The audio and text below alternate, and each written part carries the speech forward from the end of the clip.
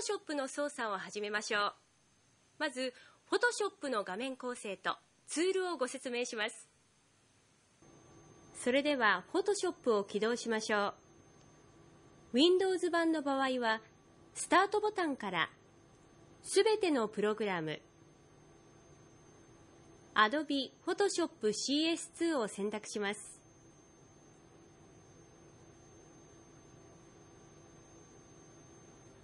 マッキントッシュ版の場合は、アプリケーションホルダーを開いて、Adobe Photoshop CS2 ホルダーを開きます。そして、Adobe Photoshop CS2 のアイコンをダブルクリックします。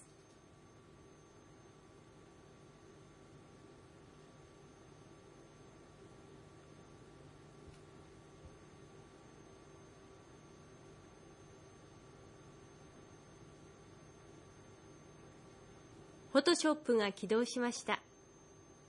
ここではマッキントッシュ版のフォトショップでご説明します。画面の上の方にはファイル、編集、イメージなど目的の機能を選択する部分があります。これをメニューバーと言います。クリックすることで様々な機能を呼び出すことができます。このビデオの中でもメニューバーという言葉を使いますので覚えておきましょう。これはツールボックスです。ツールボックスには画像を加工するために利用するツールアイコンが配置されています。ツールアイコンをクリックするとグレーに押し込まれた状態になり、ツールを選択していることを表します。ツールボックスのツールアイコンをよく見てみると、右下に小さな三角形がついているアイコンがあります。このようなツールアイコンの上でマウスボタンを押したままにすると、右側にさらにツールが広がり、非表示にされていた機能が表示され、選択できるようになります。画面の上の方を見てみましょう。ツールボックスで別のツールを選択するたびに表示が変更されるバーがあります。このバーのことをオプションバーと呼びます。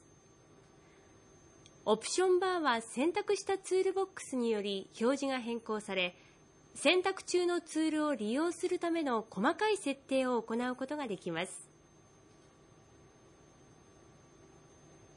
画面右側にはパレットが表示されています。パレットには画像の詳しい状態が表示され編集を行うために使います。パレットはグループごとに分類されています。タブをクリックするとパレットを切り替えることができます。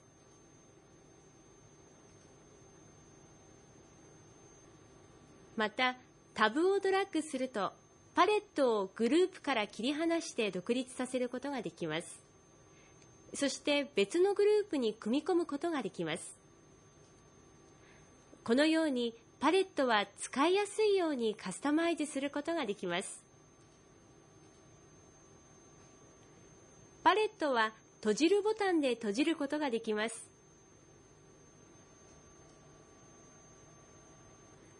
閉じたパレットをもう一度表示するには、ウィンドウメニューから目的のパレット名を選択します。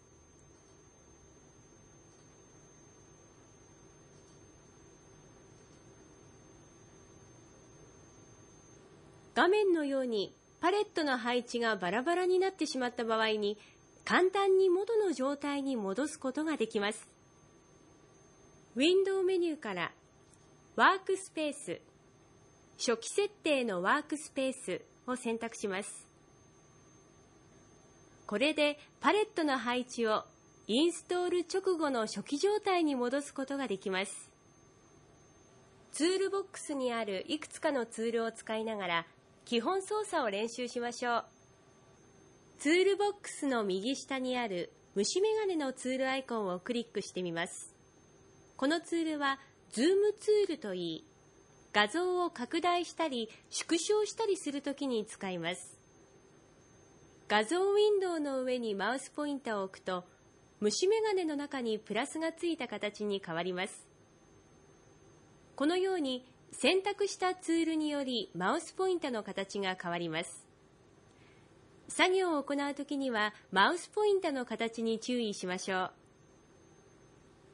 画像の上でクリックするとこのように拡大されます。クリックするごとに倍率が上がります。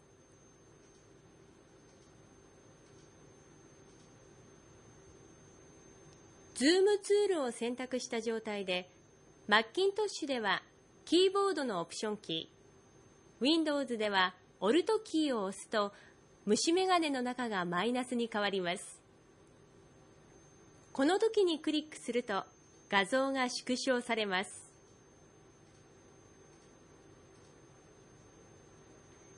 なお、目的の部分を確実に拡大するには、その範囲をドラッグします。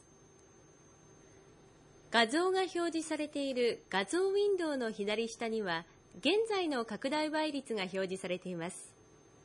ここに倍率のパーセンテージを入力すると、指定した倍率で表示することができます。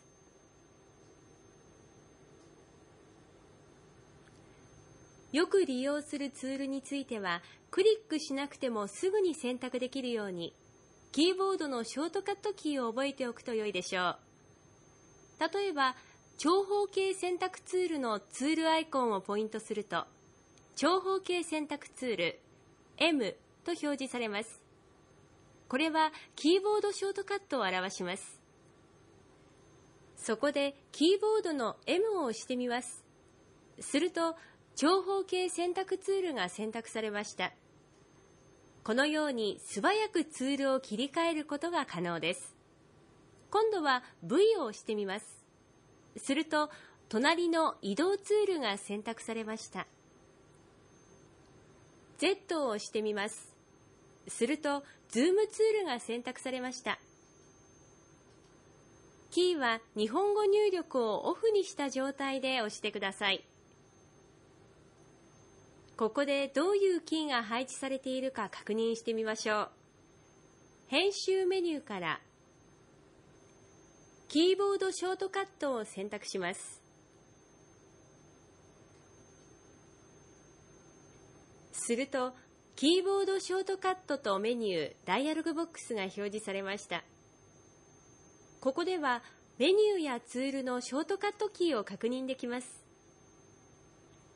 エリアからツールを選択すると、ツールボックスの一覧になります。